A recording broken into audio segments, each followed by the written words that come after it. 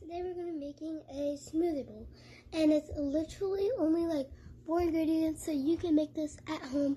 So let's get started. So our ingredients for this is uh, strawberries, like cut and washed.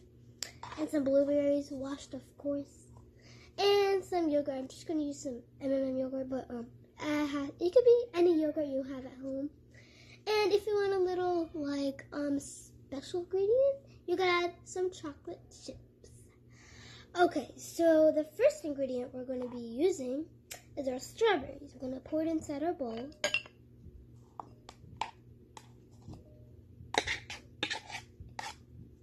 And then we're going to pour in our blueberries. That was easy. And we're going to add our yogurt.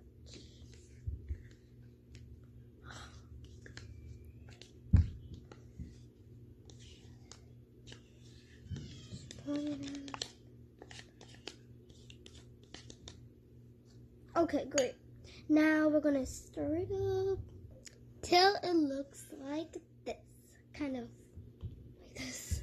Okay, now our last ingredient you're gonna be using is our special chocolate chips. I just want to add it for no reason. This looks so good.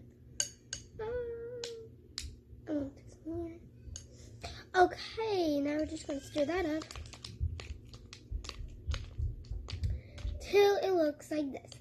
And then that's it. You can just literally enjoy your dessert. Mmm, I agree. Thanks for watching. Bye.